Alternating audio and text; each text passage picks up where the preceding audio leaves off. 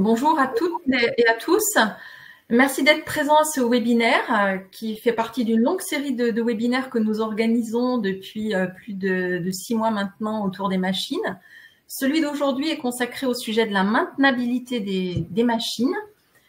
Euh, quelques mots pour vous présenter notre animateur. Donc Jean-Pierre, ici présent, Jean-Pierre Avalaneda, qui est responsable des, projets conseils et accompagnement technique pour le groupe APAV. Euh, accompagnement technique en performance. Euh, Jean-Pierre est également membre de la commission normalisation maintenance pour la, France et, l'Europe. Euh, moi-même, j'ai en charge les actions marketing pour la sector line industrie et j'ai le plaisir de vous retrouver sur ces webinaires autour des, autour des machines. Le programme, cinq, cinq grands points. On va tout d'abord voir en quoi la maintenance est un sujet souvent de préoccupation dans, dans les entreprises. Euh, on reviendra à cette occasion sur euh, les quelques résultats d'une enquête qui a été conduite par APA fin 2022. On abordera ensuite la maintenabilité avec sa définition, les enjeux de la maintenabilité et ses impacts. On fera un focus particulier sur la consignabilité des, machines, qui est très importante pour la, la, sécurité des opérations de maintenance. Et puis ensuite, des exemples de bonnes pratiques, c'est-à-dire la maintenabilité dans votre quotidien. Et avant de terminer, quelques mots sur l'accompagnement à PAV et on se réserve en fin de webinaire un temps d'échange pour répondre aux questions que vous nous aurez posées au fil de l'eau. Euh, alors justement, pour interagir avec nous, euh, si vous avez des questions euh, au sujet de la présentation, si vous avez des interrogations particulières, si des points ne sont pas clairs, vous utilisez au fil de l'eau l'onglet questions qui est disponible en bas de votre écran, en bas à droite. Et puis, vous avez aussi le, chat. On aura l'occasion, nous aussi, de vous poser quelques questions pendant, euh, pendant le webinaire. Voilà, je le laisse la parole à, Jean-Pierre. Merci à tous et très bon webinaire. Eh bien, bonjour à toutes et à tous de nouveau. Euh, je suis ravi d'être avec vous aujourd'hui euh, sur ce sujet de la maintenabilité. C'est vraiment un sujet clé euh, qui est pas ni facile à traiter ni bien euh, pris en compte euh, pour tout un tas de raisons qu'on va voir tout à l'heure et, qui à l'arrivée est, un, un peu sur le quotidien des, équipes de maintenance et d'exploitation. Alors justement, on va parler de en introduction un petit peu de la maintenance, de l'entretien et de des machines. C'est un sujet de préoccupation j'ai des clients qui me disent, euh, certains, euh, notamment en production, une bonne maintenance, c'est une maintenance dont on n'entend pas parler.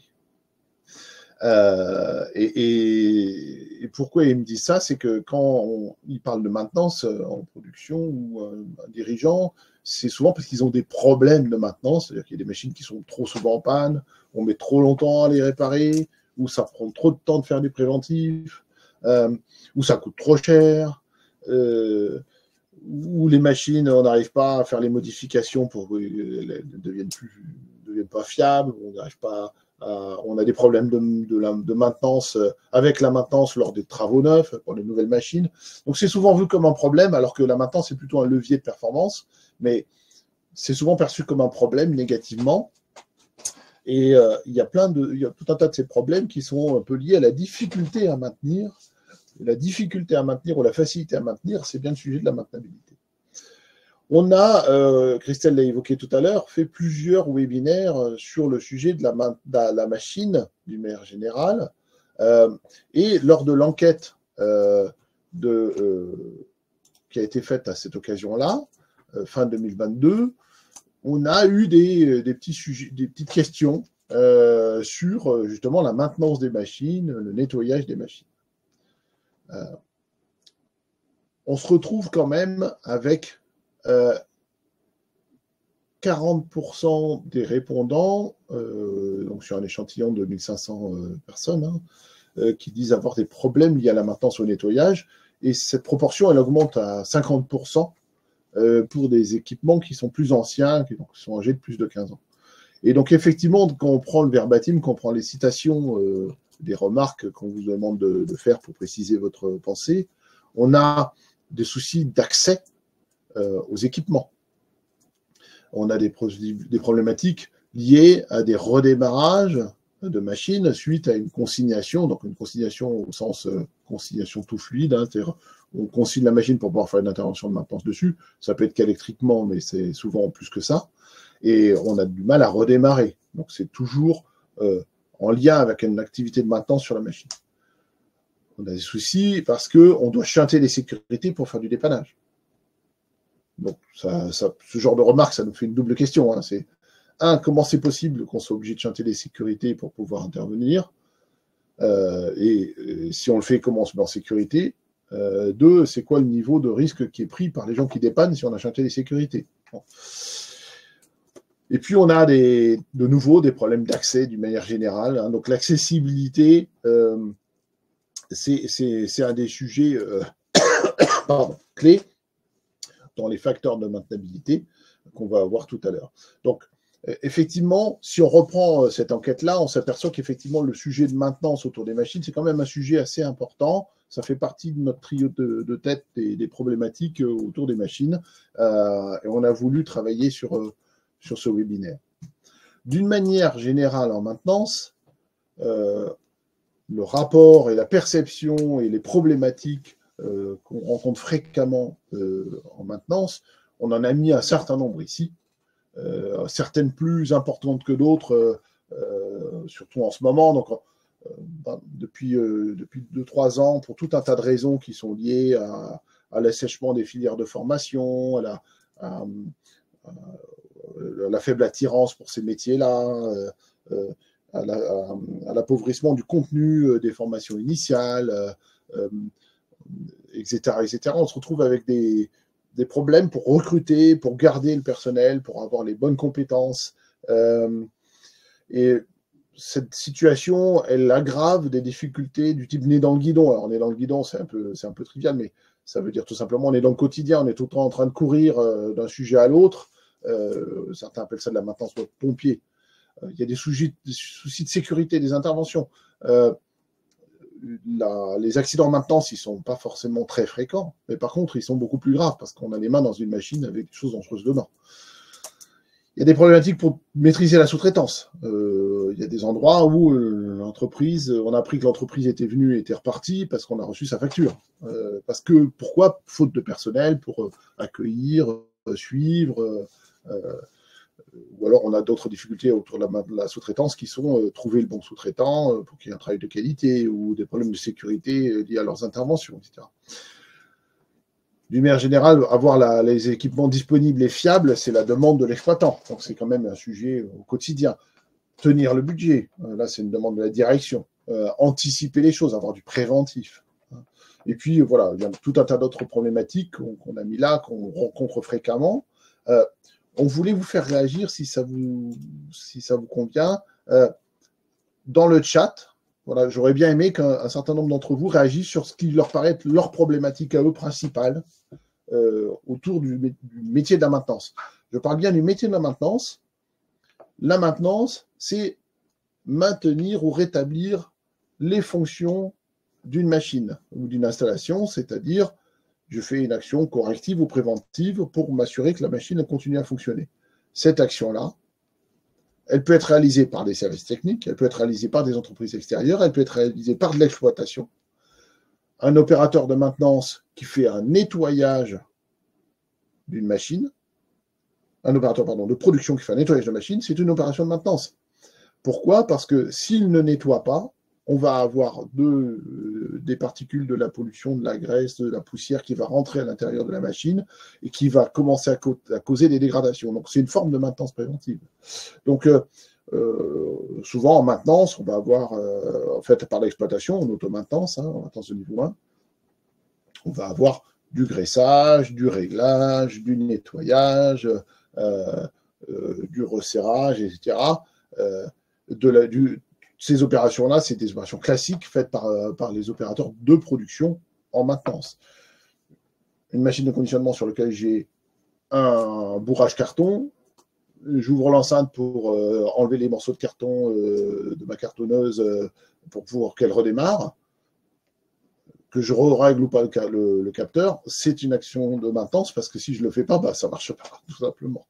Donc, c'est cette problématique de maintenance, elle est à prendre au sens large. Donc je lis effectivement des soucis de qualité de prestataire, de disponibilité de pièces. Oui, le niveau de stock, euh, déterminer le bon niveau de stock, c'est un vrai sujet. Hein, on a une contrainte coût et on a une contrainte euh, de disponibilité des équipements et capacité à, gérer ce, parc de pièces. Des réactivités, hein, la compétence, Effectivement, dans la compétence des opérateurs de maintenance, on y reviendra, on n'a pas fait des parcours métiers en maintenance, on distingue trois grandes catégories de compétences. Il y a la compétence euh, technologique, l'électricité, des compétences sur le métier, par exemple le diagnostic ou le travail en sécurité, et puis des compétences sur les équipements eux-mêmes. C'est-à-dire qu'avoir un très bon électricien qui ne connaît pas du tout les installations, bah, il sera moins performant. Donc, euh, et là, en électricité, ce n'est pas le plus compliqué en l'occurrence pour ce genre de sujet. Mais en méca, par exemple, c'est compliqué. Trouver, garder les talents. L'accessibilité externe et interne et la mise à disposition pour le nettoyage des pièces. Je vous laisse encore quelques... N'hésitez pas à continuer à compléter, ça nous, ça nous donne aussi euh, votre vision du sujet. C'est toujours très enrichissant.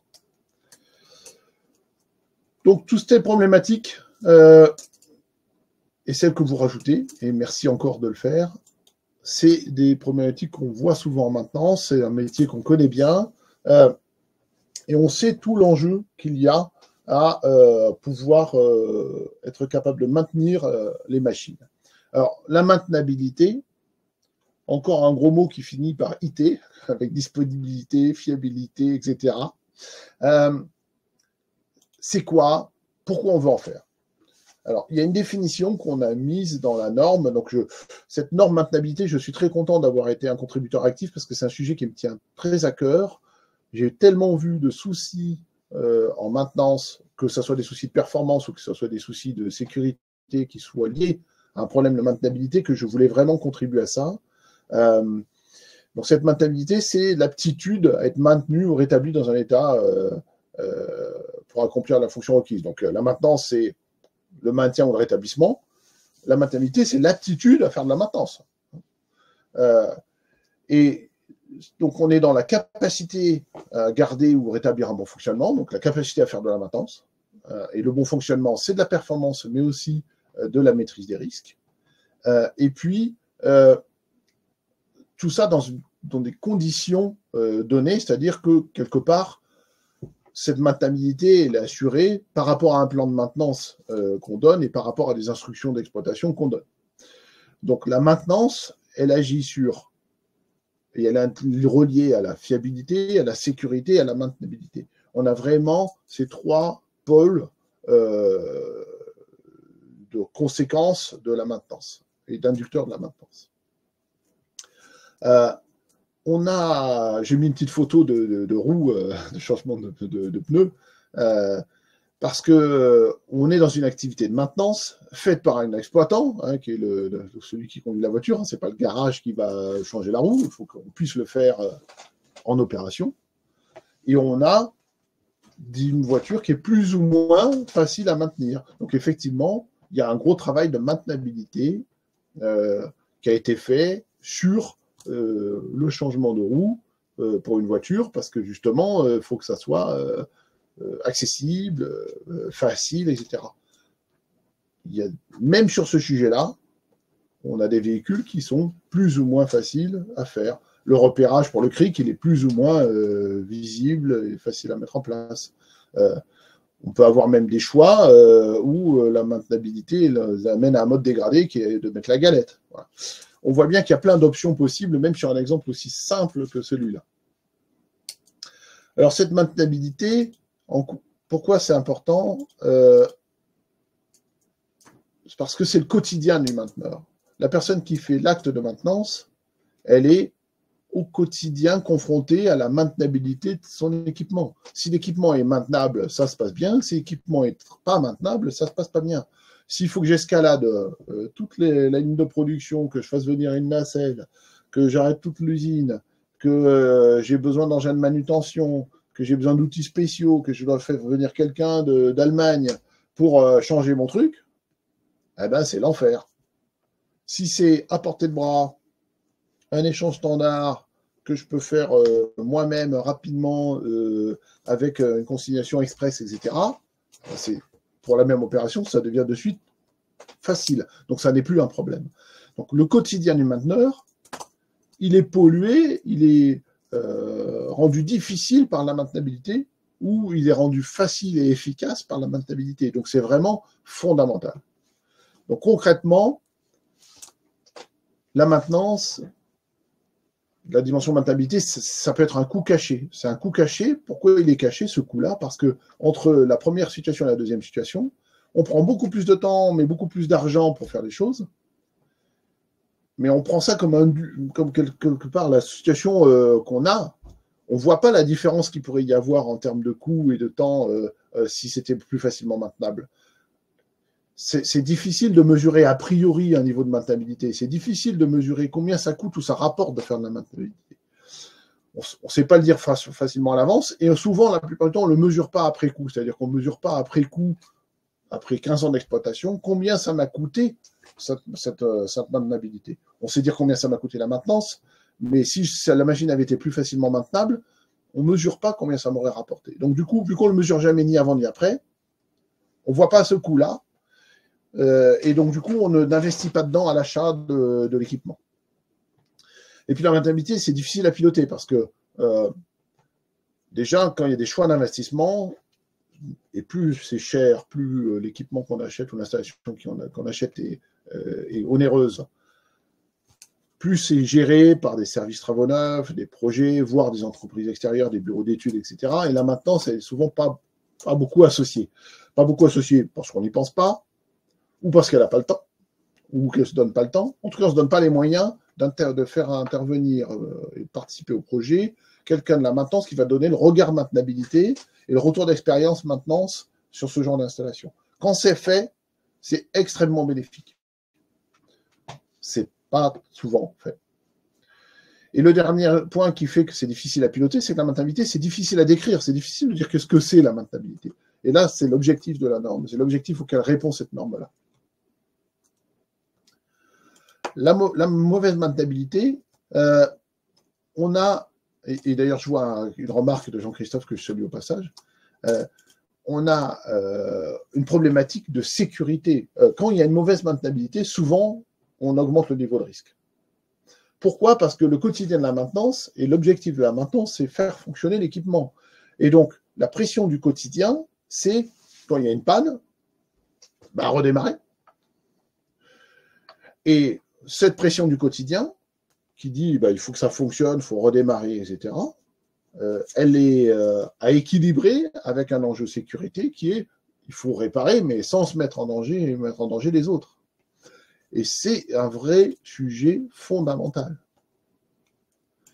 Et ça, c'est un problème. C'est-à-dire que quand la maintenabilité est mauvaise, ça coûte du temps et de l'argent de faire de l'action de maintenance, surtout du temps. Du coup, on ne peut pas redémarrer facilement. Du coup, on a tendance à prendre des raccourcis partout où on peut. Et on peut éventuellement négliger la mise en sécurité parce qu'on va gagner du temps. Donc, on va perdre de la sécurité pour gagner du temps. La maintenabilité et le niveau de sécurité, c'est intimement lié. Donc, c'est fondamental de comprendre ça et on va y revenir. Sur les gens de maintenabilité, si on prend un peu de recul, euh, ça contribue à, la facilité d'emploi et la facilité de, à maintenir. Et donc, ça induit des coûts et des temps d'intervention. Donc, si ça peut être long, coûteux de faire l'intervention de maintenance, ça peut être compliqué, il faut des moyens compliqués. On parlait de la nacelle, une compétence qui est à l'étranger ou quoi qu'est-ce. Euh, voilà, on met 10 euh, heures ou 3 jours plutôt qu'une demi-heure.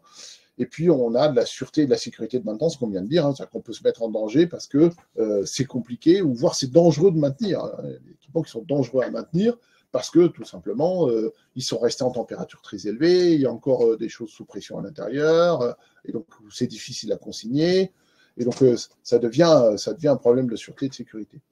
Donc, la maintenabilité, c'est déterminant aussi pour la disponibilité et la fiabilité. Si c'est facilement maintenable, je perds moins de temps euh, d'intervention, donc du coup, je n'ai pas de perte de disponibilité euh, liée à de la maintenance corrective, euh, donc ça m'améliore ma disponibilité. mon TRS, mon TRG, hein, il va être aussi amélioré si l'équipement est maintenable. Je n'ai pas besoin de mobiliser beaucoup de temps pour faire du préventif. Si l'équipement euh, est facilement maintenable, c'est aussi que je vais capter les problèmes plus en amont que s'il n'est pas facilement maintenable. Hein. On va voir que c'est un des critères, donc ça va induire aussi euh, de la fiabilité.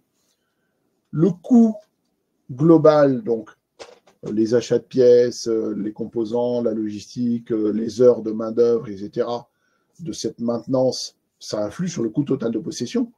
Donc, si la maintenabilité est bonne, le coût total de possession est meilleur ça veut diminuer le coût total de maintenance. Ça induit euh, bien sûr de la sûreté de fonctionnement. Et puis d'un point de vue RSE, l'air de rien, avoir un équipement maintenable, c'est souvent un équipement qui est plus durable parce qu'il est facile à maintenir. Si j'ai euh, un téléphone, euh, voilà, il y a une marque de téléphone que je ne citerai pas, mais qui, a, le credo d'être réparable, d'être maintenable, on peut changer l'écran, la batterie, euh, la caméra, enfin tout est démontable, remontable euh, par un utilisateur. Euh, donc ça rend l'équipement plus durable parce qu'effectivement, l'appareil photo de mon téléphone ne marche plus, je le remplace, ben, je garde mon téléphone. c'est pas un téléphone jetable. donc ça, ça fait partie d'un enjeu de durabilité, RSE. La maintenabilité, ça permet aussi de localiser les moyens humains. Hein, ces opérations de la capacité à maintenir un équipement pour le faire durer. Ça veut dire que c'est mes équipes, maintenance qui vont faire que mon actif, je le conserve. Je ne vais pas jeter un sous-ensemble pour le remplacer. Euh, je ne vais pas euh, faire réparer forcément à l'extérieur vu que c'est facile à maintenir sur place. Et puis la réduction des impacts HSE par rapport à la dangerosité d'une intervention de maintenance qui serait mal, mal maîtrisée. Donc, cette maintenabilité, elle a des enjeux importants. Euh, et effectivement, euh, toutes les performances, maintenabilité, fiabilité, sécurité, sûreté et disponibilité de la maintenabilité, c'est, euh, sont des composantes qu'on voit sur trois niveaux. Donc, il y a le niveau de maintenabilité intrinsèque, c'est à la conception et à la fabrication que ça se joue. C'est-à-dire que si on conçoit un équipement qui est facilement démontable ou pas facilement démontable, bah forcément, c'est à la conception que ça se joue et c'est la base sur laquelle on travaille. Après, on va avoir une maintenabilité attendue, c'est-à-dire que quand mon équipement, je le mets en place, il est parfaitement démontable, et puis je le mets dans un endroit où il n'y a que 20 cm autour pour manœuvrer. Ah bah, du coup, il est beaucoup moins facilement maintenable. Et donc ça, l'intégration, ça joue beaucoup sur la maintenabilité. Et ça, joue, ça se voit souvent à la réception. Et puis, la, la maintenabilité opérationnelle que je vais avoir, je prends toujours mon équipement que j'ai mis dans une petite pièce, du coup, qui est difficile à maintenir. Et en plus, euh, j'ai euh, besoin de pièces détachées où il y a trois mois de délai. Je, prends les pièces détachées que c'était dans les commentaires. Ah bah, du coup, là, euh, si j'ai pas de stock, ça devient un problème de maintenabilité. Donc cette composante sur trois niveaux, elle est intéressante à avoir en tête parce que on voit bien que c'est le résultat de plusieurs couches d'oignons qui sont liées au concepteur, à l'intégrateur et à l'exploitant. On a la conception, le soutien logistique intégré et l'exploitation qui sont dans, l'équation de la maintenabilité à l'arrivée. Et donc, on peut jouer sur tous ces tableaux-là. Donc ça, c'est aussi important à comprendre dans la notion de maintenabilité.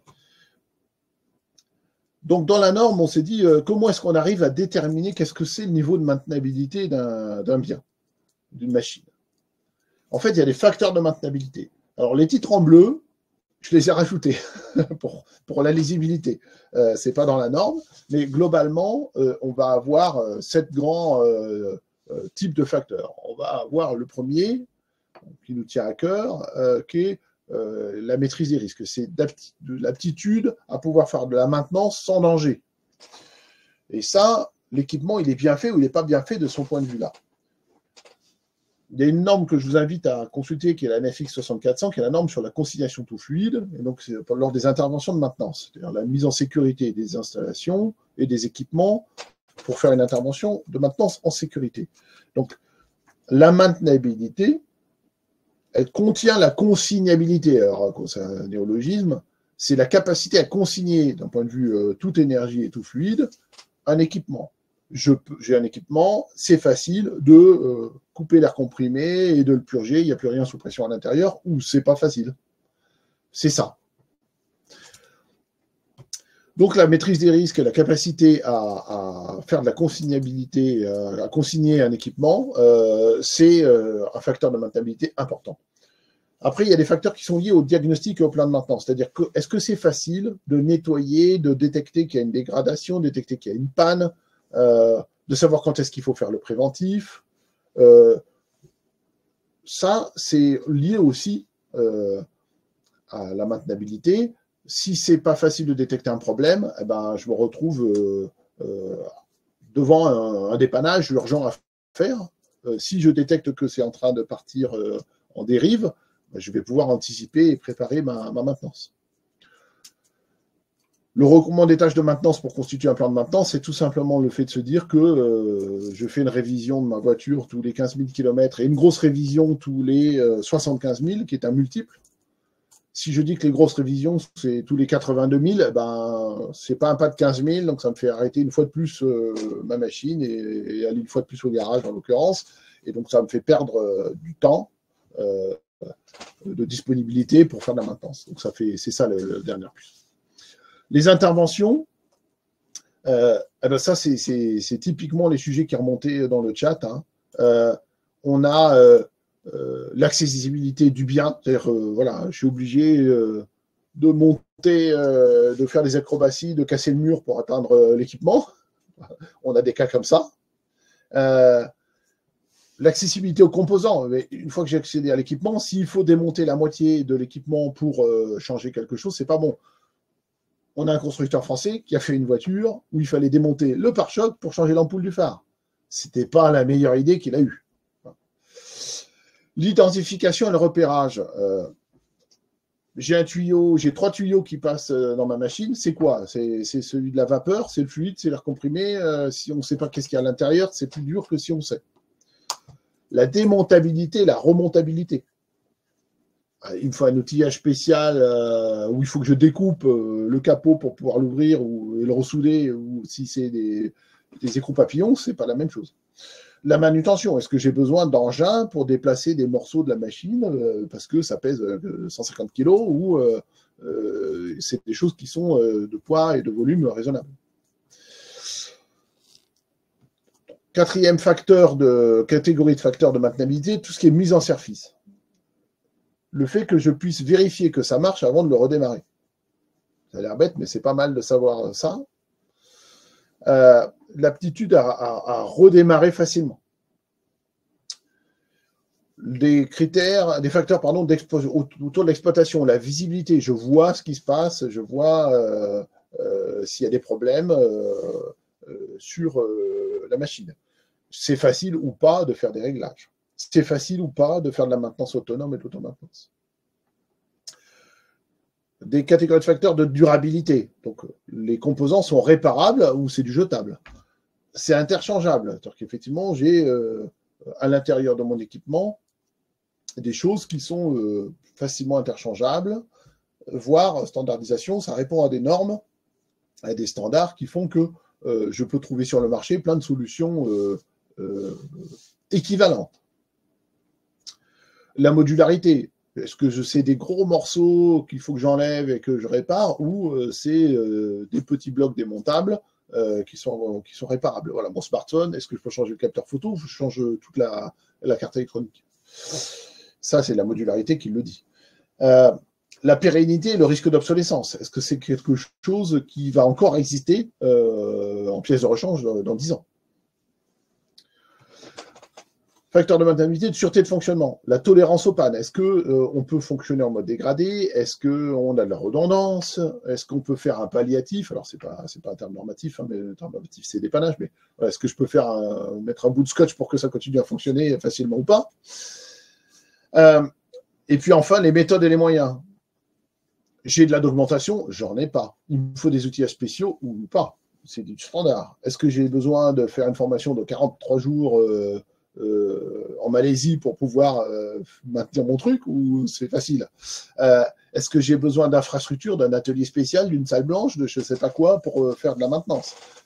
Est-ce que j'ai besoin de beaucoup de pièces détachées ou pas, de matières premières, de consommables, etc. Donc, tout ça, toute cette liste-là, c'est tous les facteurs de maintenabilité qu'on a détectés et qu'on a formalisés dans la norme. Et donc, effectivement, il y a des moyens d'évaluer ça. Ça nous fait une bonne liste, euh, je trouve, euh, pour savoir quoi regarder.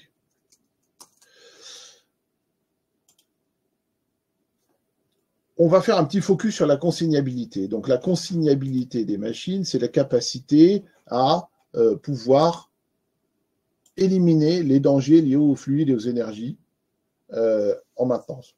Quand on parle de fluide d'énergie, on parle de la vapeur, la pression, la température, euh, l'électricité, un risque mécanique de passement, d'écrasement, etc tout type, un produit chimique, tout type d'énergie et fluide qui, euh, qui peuvent être dangereux lors d'une intervention de maintenance. Et c'est dangereux parce que la directive machine va vous protéger pendant l'exploitation normale d'un équipement.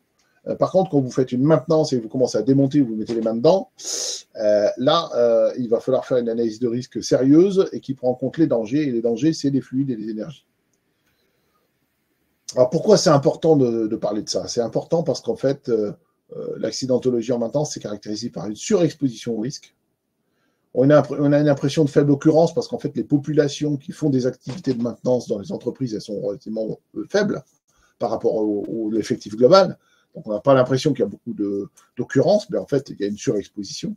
Et puis, l'autre caractéristique de, ces problèmes d'accidentologie en maintenance, c'est qu'il y a une très forte gravité effectivement, quand je suis un opérateur de production et que je me fais euh, euh, coincer la main et que euh, je me fais couper un doigt parce qu'effectivement, je me suis fait remarquer en faisant une très mauvaise manipulation. Alors déjà, c'est peu probable si ma machine est conforme, mais normalement, ça, va rarement plus loin. Hein. Alors oui, il y a toujours des morts, hein, mais c'est globalement, il y, a, il y a beaucoup d'accidents de faible gravité, heureusement, parce qu'il y a beaucoup de choses qui sont là pour protéger un mainteneur, il met les mains dedans, il est exposé à des dangers très importants. Si on ne consigne pas, on ne se met pas en sécurité de manière correcte, euh, on risque au sens propre sa vie. Euh, et cette, impression un peu empirique, ce sentiment qu'on a, en fait, il est démontré par euh, des analyses de, qui ont été faites par l'Association française de maintenance et qui a démontré qu'il y a des occurrences d'accidents graves, de maladies et de mortalité qui sont bien supérieures à la moyenne du même secteur. Donc, si je travaille dans l'agroalimentaire et que euh, j'ai une un TF de 1, euh, eh ben, j'ai un, enfin, un TG de 1, j'ai un TG de, qui est beaucoup bien supérieur quand je suis en train de euh, quelqu'un qui fait des activités de maintenance dans le même secteur. Donc, ça, c'est important donc de se dire, ce problème de sécurité des interventions de maintenance, il est clé parce que c'est une population qui est, quelque part exposée. Et donc effectivement, pourquoi c'est un problème euh, qui n'est pas simple à gérer? Parce que euh, déjà, il y a une multiplicité d'énergies. Donc effectivement, je vais avoir tout un tas d'énergies qui sont à l'intérieur de la machine pour la faire fonctionner, mais autour de la machine, euh, parce qu'elle est intégrée dans une installation dans laquelle il y a des tuyaux qui passent, etc. Il y a des choses qui sont liées au process. Hein. Dans la machine, il peut y avoir des produits qui sont dangereux. Euh, le lieu d'implantation, euh, voilà, ça peut être en hauteur, euh, ça peut être dans un environnement qui est, compliqué, très bruyant, avec des températures, avec des vapeurs, avec de la poussière. et puis, pour faire mon intervention de maintenance, j'ai peut-être besoin d'apporter des choses qui sont embêtantes. Hein. Je peux amener un, un, chalumeau pour faire de la soudure. Euh, donc il y, a plein de choses qui sont euh, à prendre en compte. J'ai de la coactivité avec de l'exploitation, avec d'autres opérations de maintenance, des entreprises extérieures. Donc toute cette multiplicité de dangers fait que euh, le risque d'accident est compliqué à, gérer, à prendre en compte, et on s'aperçoit que il y a plus de la moitié des accidents en maintenance qui sont liés à de la présence, d'une présence d'énergie qui est mal, mal maîtrisée. donc, pour te canaliser, non pas ta, ta, grande passion pour le sujet, mais ton temps de parole, il reste un quart d'heure, un petit quart d'heure. Ah, ok, donc je vais accélérer. Donc, pour traiter cette consignabilité, on a des leviers techniques, organisationnels et humains, et ces leviers, ils vont permettre de se protéger du risque d'accident, de le prévenir à la conception et à l'intégration de la machine, par, lors du, avec le soutien logistique, par des processus et de l'organisation, par du management de ce risque-là et par des comportements adéquats. Donc, il faut agir sur tous ces sujets-là pour travailler. Euh, et, euh, pardon, la, la, combinaison de ces leviers-là, euh, elle permet de réduire le risque. Et d'un point de vue technique, si je zoome dessus, on va avoir des enjeux à identifier et rendre visibles les énergies qui sont en présence, avec du repérage, avec des énergies elles-mêmes, sur les tuyaux par exemple, hein, ou les câbles, avec du repérage des dispositifs de sécurisation. C'est laquelle la bonne vanne pour fermer la vapeur les modalités de blocage et de cadenassage. Comment est-ce que je fais pour, voilà, si c'est cadenassable ou pas cadenassable, ça va changer euh, les choses. Euh, donc, s'assurer qu'on ne va pas remettre en place l'énergie. Et ça, ça se joue, euh, c'est souvent des facteurs techniques, hein, c'est facilement faisable ou pas, c'est de la maintenabilité d'un point de vue maîtrise du risque. Il faut définir des modes opératoires et des modalités de mise en sécurité, de savoir comment est-ce qu'on va s'y prendre, dans quelle état, quelles étapes, dans quel ordre, etc. Donc ça, c'est aussi des choses qu'on peut demander dans la documentation savoir comment, euh, quelles sont les mesures compensatoires de, protection euh, qu'on doit mettre en place en plus, et puis les organes de mise en sécurité, c'est-à-dire la fameuse vanne qui va me permettre de couper la vapeur, la deuxième vanne qui va sécuriser cette, coupure et la purge entre les deux pour si jamais la première lâche, euh, il ne m'arrive rien. Bah, faut que ces vannes-là, soient accessibles. on, sache lesquelles c'est, hein, ça c'est le premier point, mais elles soient accessibles, on puisse les cadenasser, elles soient fiables, c'est-à-dire que quand on ferme, ça ferme, il y a des détrompeurs pour ne pas se tromper de sens. Euh, et puis ces équipements-là, il faut euh, les entretenir, les vérifier, avoir un plan de maintenance dessus, vérifier que ce n'est pas vétuste, etc. Donc, d'un point de vue technique, il y a pas mal de choses et on s'aperçoit que c'est très en lien avec la maintenabilité. On voulait vous donner des exemples un peu plus concrets d'actions de, maintenabilité au quotidien.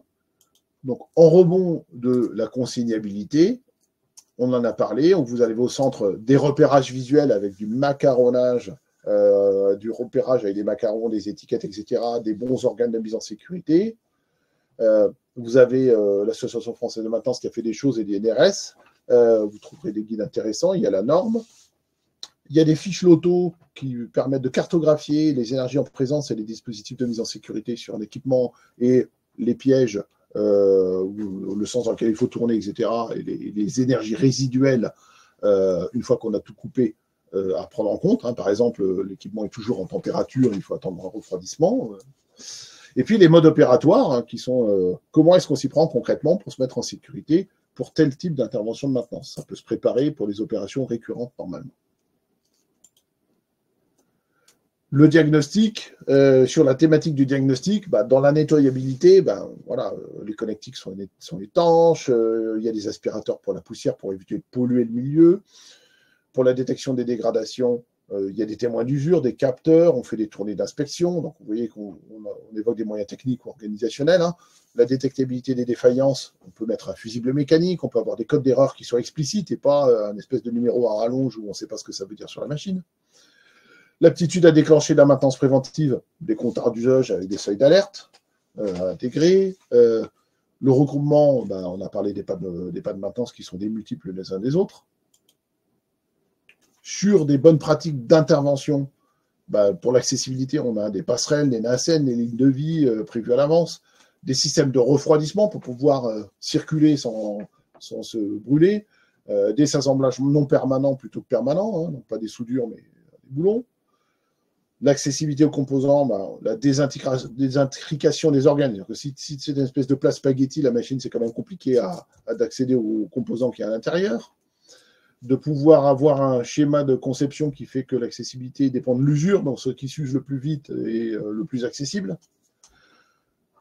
Le, repérage et l'identification, donc la codification, euh, des codes couleurs, des appellations normatives, euh, la reprise de ce qu'il y a sur les plans en réel sur la machine, la démontabilité et la remontabilité, on en a parlé avec les attaches rapides et des trompeurs euh, pour remonter facilement. Et puis, euh, dans la manutention, là aussi, il y a quelques éléments dans la norme ergonomique, hein, surtout les poids, les volumes, les zones de stockage, les accès, etc. Donc, en synthèse, qu'est-ce qu'on aurait aimé que vous reteniez? C'est que, effectivement, la maintenabilité, c'est un facteur clé performance, de coût et de sécurité. Que la consignabilité, c'est une dimension majeure de la sécurité des interventions de maintenance et ça se joue à la maintenabilité, beaucoup. Euh, entre autres, en tout cas, qu'il y a des leviers techniques, organisationnels et humains qui permettent de s'améliorer sur ces sujets-là. Et que prendre en compte la maintenabilité, c'est un bon investissement. Et ça, c'est un message pour tous les projets euh, d'investissement. Investissez dans la maintenabilité, sur le coût complet, sur les risques, c'est rentable. On peut vous aider sur ces sujets-là. Euh, on n'a pas tout listé, mais évidemment, on peut évaluer, spécifier, améliorer la maintenabilité et la consignabilité. On peut travailler sur la sécurité des interventions maintenance face aux risques énergie et fluide. On peut fiabiliser des équipements et des installations euh, et garantir la conformité. On parlait de la conformité euh, directive machine qui garantissait la sécurité des exploitants. Mais il faut être conforme. Euh, on peut travailler sur la durée de vie des installations pour la prolonger, euh, optimiser un coût complet de possession. On, peut bien sûr former les équipes, toutes les compétences requises, qu'elles soient technologiques, métiers et même équipements avec des formations spécifiques. Travailler sur la maîtrise des entreprises extérieures, diagnostiquer la maintenance d'une manière globale, y compris l'état de santé des équipements, euh, pour savoir comment améliorer euh, la maintenance au sens large, euh, l'organiser et la manager. Donc, ça, inclut bien sûr la gestion du stock, les appros, etc.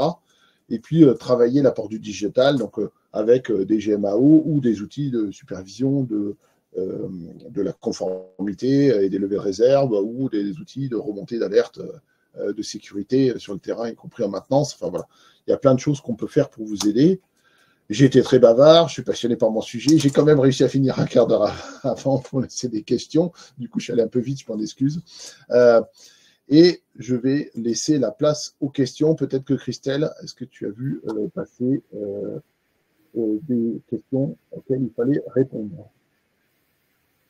Alors, Albert nous demande ce qu'est une GTC, Jean-Pierre. C'est les, les, systèmes de supervision de bâtiments. voilà, c'est je ne sais pas où est-ce que je ne sais plus où est-ce que j'ai mis ça. on avait une, observation d'Emmanuel hein, qui nous dit on parle bien d'aspiration des poussières et non pas de soufflage. Je sais qu'au niveau du support, on a bien parlé d'aspiration. Oui. Euh, voilà. Euh, alors, est-ce que l'on donne des formations certifiantes en, ligne? Alors, euh, certifiantes. Euh, au sens CQP, euh, etc. Alors, euh, en ligne, en ligne, non. on fait des formations, alors certifiantes, avec des parcours métiers modulaires éventuellement.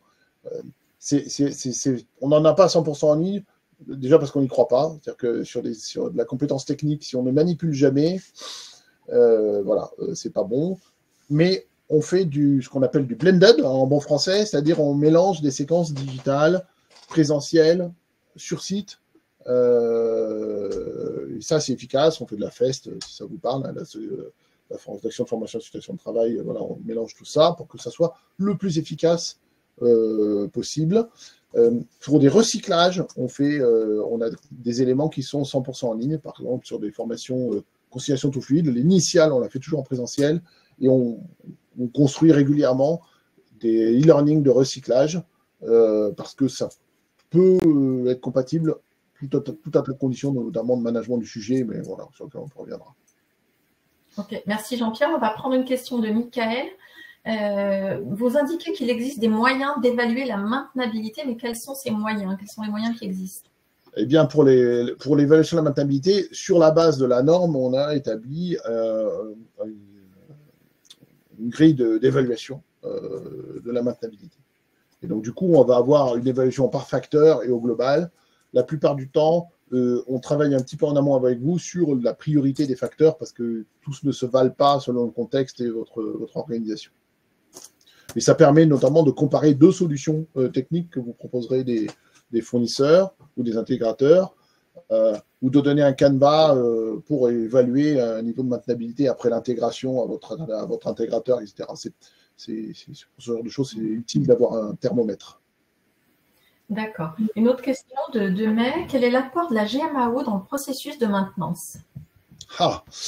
Alors la GMAO, c'est très intéressant euh, parce que ça va permettre d'informatiser les processus de maintenance, euh, d'historiser, euh, de travailler sur donc, ces historiques pour s'améliorer, de faire de la productivité parce qu'en fait, on va avoir la gestion de stock dedans, les appros, la gestion des demandes d'intervention, etc. Sur la GMAO, le message que je voudrais faire passer, il y en a plein, il y en a plein de très bien. La PAV en a une qui est très bien, mais il y en a d'autres de très bien. Faites-en un, projet métier. Le piège de la GMAO, c'est d'en faire un projet informatique. Il faut en faire un projet métier, ça a de la valeur ajoutée métier, donc il faut piloter les projets GMAO par la valeur ajoutée métier que ça rapporte. Et ça peut bien aider à euh, structurer des processus, des procédures, historiser et faire de l'amélioration continue, c'est évident et voilà, c'est l'efficacité dans la gestion. D'accord. Une question de Stéphane, est-ce que les fabricants de machines ont des obligations liées à la maintenance? Alors oui, dans la directive machine, vous avez des obligations liées à la maintenance. Toutefois, euh, ces obligations, elles sont un peu sibyllines et sont donc euh, prêtent un peu à, interprétation. Euh, et, en plus, c'est normal parce qu'en fait, c'est pas complètement possible de, tout, traiter dans la directive machine, qui n'est pas complètement là pour ça. Euh, donc ils ont des obligations. Donc dans l'esprit, ils sont censés euh, garantir que les opérations de maintenance courantes, quelque part, se fassent sans danger. Et notamment celles qui sont faites en exploitation euh, classique. Après, je vous rappelle, la directive machine, c'est très bien, c'est très complet, c'est un peu sujet à interprétation, mais ça, c'est pas très grave. Mais il y a beaucoup d'auto-certification, c'est-à-dire que quelque part, c'est votre fabricant qui dit que lui-même, qui, qui dit lui-même qu'il est bien, qu'il est bon. Alors, il est jugé parti.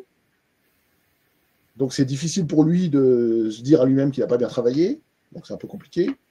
Euh, et puis en plus, ce n'est pas son métier de base de juger de ça au, quotidien. Donc sur des installations euh, un peu critiques, dangereuses, etc., on recommande de faire évaluer par un organisme de contrôle comme la PAV, pour la bonne raison que dans 80% des cas, des équipements qu'on nous demande de contrôler en termes de conformité qui ont été marqués conformes par le constructeur, en fait, ils ne le sont pas. Et des fois de manière très importante. Le dernier exemple que j'ai en date, c'est des plaques de métal qui circulent à 10 mètres secondes sans capot. Voilà. Donc ça veut dire que on tend le bras, on se fait couper le bras. Elle était marquée conforme par le constructeur, qui était un constructeur qui n'était pas français, certes, mais lui, il s'est pas s'est pas dit que c'était dangereux, alors que c'est une zone de circulation autour. Quoi. Enfin bon, c'est pas avec une bande jaune au sol à un mètre qu'on va gérer ce risque-là. C'est non conforme. Voilà, du coup, Jean-Pierre, on rejoint une question qui est posée par Isabelle qui nous demande si les vérifications de machines, par exemple des machines de menuiserie, par un organisme extérieur, sont obligatoires. Donc, et là, Isabelle, je vous inviterai, je vous l'enverrai à, suivre le webinaire qu'on a le replay du, webinaire que nous avons organisé au mois de mai sur la sécurité des machines et sur la réglementation en machine. Oui. Je te laisse dire un mot, Pierre. L'obligation, c'est d'avoir une machine conforme. Voilà. Et donc, par contre, euh, voilà, il y, a, à quelques exceptions près, on peut, le fabricant peut se déclarer conforme. Il y a des cas où il n'a pas le droit, mais. Et puis il y a des équipements très particuliers, évidemment. Euh, alors, on va prendre une question de, Marise. Est-ce que les opérations de maintenance sont obligatoires réglementairement? On est toujours sur la réglementation. En fait, euh, pas directement écrit comme ça. Alors, il y a bien sûr des exceptions. Hein. Euh, vous avez des appareils à pression, vous devez dire comment vous les inspectez et vous garantissez leur niveau de sécurité. Voilà, il y a, des réglementations qui induisent de la maintenance. Les inspections réglementaires, c'est une activité de maintenance. Une inspection, c'est une activité de maintenance. Une inspection, c'est d'aller voir que tout va bien. Donc, les inspections réglementaires, euh, toutes, les, euh, toutes les fréquences obligatoires, bah, quelque part, c'est de la maintenance obligatoire. La tendance générale, c'est quand même de responsabiliser l'exploitant Et c'est lui qui doit, qui doit s'assurer que euh, euh, ces installations, ces équipements ne sont pas dangereux. Donc ça, c'est le code du travail. Hein. Et puis toutes les réglementations vont dans le même sens. S'il y a un problème euh, dans les installations, les équipements que j'utilise, sécurité, incendie, pollution, quoi qu'est-ce, je suis responsable en tant qu'exploitant d'avoir fait tout ce qu'il fallait dès mon, dès mon achat et mon choix d'équipement pour que ça se passe bien. Et évidemment, pour l'exploitation au quotidien, pour mes équipes. Donc, directement, il y a des cas où c'est euh, vrai, mais la maintenance en tant que telle n'est pas, pas complètement visée. Mais elle est citée dans la plupart des réglementations, y compris l'ICPE, y compris euh, la, pression, y compris les, les que, que, ce soit par l'inspection ou par d'autres raisons. Mais ça suffit pas à maintenir l'équipement, hein, ça, ça suffit à s'assurer que les risques majeurs sont pris en compte. Donc ça veut dire que la réglementation, d'une manière générale, s'occupe du HSE, des travailleurs et de la population, mais pas de la performance de l'équipement. Que la maintenabilité soit mauvaise et que vous preniez 10 heures à la place de 20 minutes à réparer, la réglementation s'en fiche, il n'y a aucune obligation euh, à personne pour que ce soit le cas. C'est vous, en tant qu'utilisateur, qui devriez vous poser la question. D'accord. Alors, on va prendre une question de Didier, euh, si je ne me trompe pas, c'est ça. Y a-t-il un, lien entre la norme NFX 6301 et le Code du travail, en l'occurrence l'article R4322 Alors, le R4322, je ne sais plus lequel c'est, mais euh, euh, non, la norme, elle est indépendante de la réglementation. C'est une norme volontaire, elle n'est pas, certifiable. par contre, elle, est, voilà, elle ne va pas contre, elle est cohérente tout ce qu'on peut dire, c'est que dans cette norme normabilité, on parle de la maîtrise des risques, et si ce paragraphe concerne euh, les obligations de l'employeur sur la sécurité euh, de ses travailleurs, bah, ça va contribuer à repérer, à identifier les dangers, euh, et à déterminer comment on va maîtriser les risques associés, qui sont dans le code du travail. Ça va, ça va dans le bon sens, on va dire pour les personnes qui ont demandé les, replays de nos webinaires précédents, en particulier ceux sur lesquels on abordait la réglementation machine, je viens de vous mettre le lien sur le, chat. Vous y retrouverez plutôt en bas de page tous les, tous les replays. Euh, je regarde s'il y a d'autres questions. Alors, comment, évaluer la maintenabilité des équipements d'automatisme et d'informatique industrielle? C'est une très bonne remarque. La plupart des facteurs de maintenabilité sont euh, transposables. Euh, voilà, par exemple, euh, la détectabilité d'une dégradation, si on a des, codes d'erreur avec des logs et des systèmes d'alerte ou pas, voilà, c'est l'équivalent de ce qu'on peut avoir de manière plus physique dans un équipement. c'est effectivement un peu plus délicat et là on va s'articuler aussi avec d'autres normes euh, autour de l'informatique euh, pure et dure, euh, mais c'est faisable. On travaille, par exemple, sur de la sûreté de fonctionnement de systèmes automatisés où on va jusqu'à vérifier le code. Donc, du coup, voilà, c'est des choses qui sont faisables.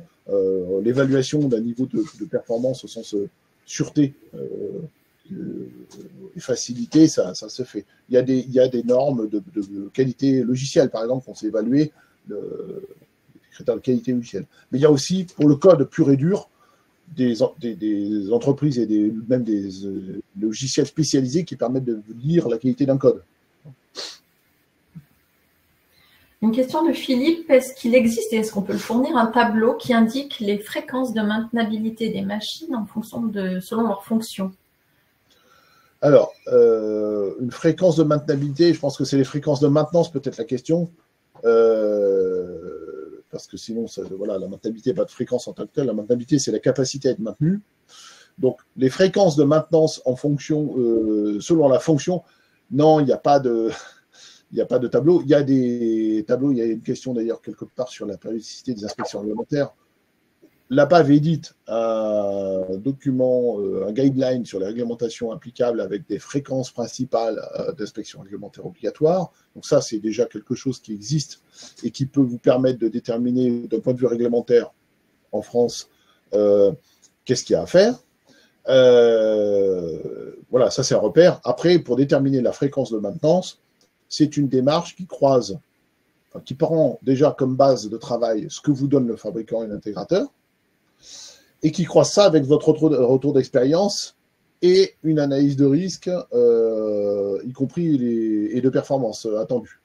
Donc c'est la combinaison de tout ça qui va déterminer un plan de maintenance qui vous permettra d'avoir un niveau de performance et de maîtrise des risques qui correspond à votre besoin. Donc euh, c'est ça ça ça ma réponse. Il n'y a pas de tableau officiel sur le sujet parce que c'est pas possible.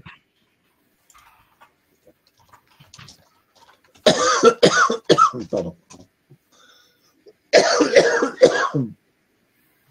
Alors Jean-Pierre, si tu veux bien prendre, ce sera certainement la dernière question concernant les fréquences de maintenance. Est-ce que c'est en général le fabricant ou le constructeur qui les mentionne dans le mode d'emploi de la, de la machine? Alors c'est déjà, c'est euh, pour le coup, il a une obligation euh, de, dire quelles sont les opérations de maintenance qui doivent maintenir l'équipement dans son niveau de conformité quelque part. Donc, euh, oui, le constructeur et le fabricant doivent donner un plan de maintenance. Par contre, ce n'est pas suffisant. Pourquoi? Parce que l'équipement, il est intégré euh, dans votre installation. Donc, il est en lien avec d'autres trucs. Il est quelque part. Il porte un process qui est le vôtre. Donc, ça veut dire que quelque part, pour avoir un bon plan de maintenance, c'est nécessaire mais pas suffisant. Il faut rajouter cette partie, la partie que je viens d'évoquer, et puis le retour d'expérience. Vous savez que pour de vrai, il vous dit qu'il faut changer ça toutes les 1000 heures, mais pour de vrai, c'est mieux de faire toutes les 700 parce que euh, des fois, ça lâche plutôt que prévu. Je crois qu'on a fait le tour des, questions. Euh, comme à l'habitude, hein, on va consolider toutes vos questions. On vous repartagera une questions et puis vous recevrez tous, euh, d'ailleurs, tout de suite en fin de ce webinaire, le, le replay. Euh, pour ceux qui l'ont demandé, on vous repartagera également le, support de, présentation. Alors, avant de, puisqu'on a abordé toutes vos questions, avant de nous séparer, et merci à Jean-Pierre pour cette présentation, je vous invite à répondre aux deux questions qui sont dans l'onglet sondage en bas à droite de, votre écran. Ça nous permet d'avoir un retour sur cette présentation et d'identifier les personnes qui souhaitent être, être contactées. Donc, pour, répondre à une question qui est dans mon écran, je ne sais pas pourquoi elle apparaît tout le temps, quel est le nom de la norme de, sur la maintenabilité Donc, c'est la, la NFX 6301, le, petit nom euh, de, la norme maintenabilité.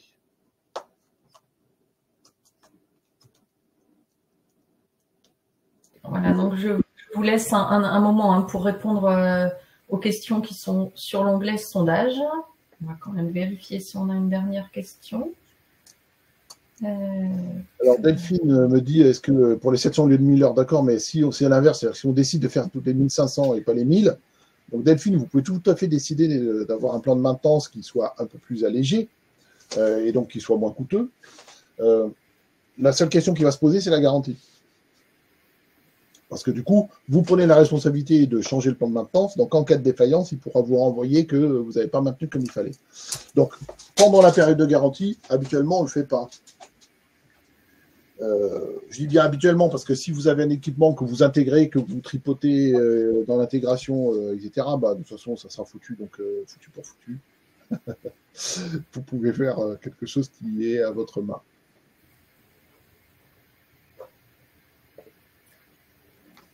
Bien, on a fait le tour des questions. un grand merci à vous pour votre participation. Jean-Pierre, merci pour, pour ton animation. Euh, donc, je vous ai mis le lien sur le chat d'une page web. Je vais peut-être vous le remettre rapidement où vous retrouverez tous les replays des, des webinaires qu'on a organisés jusque-là. Je vous le remets rapidement. Bon, voilà, c'est fait. Je vous laisse le temps de le, récupérer et puis on va clôturer ce, webinaire. On vous souhaite une excellente journée et un très bon appétit. Merci à vous tous. Merci à tout le monde. Merci, au revoir. Au revoir.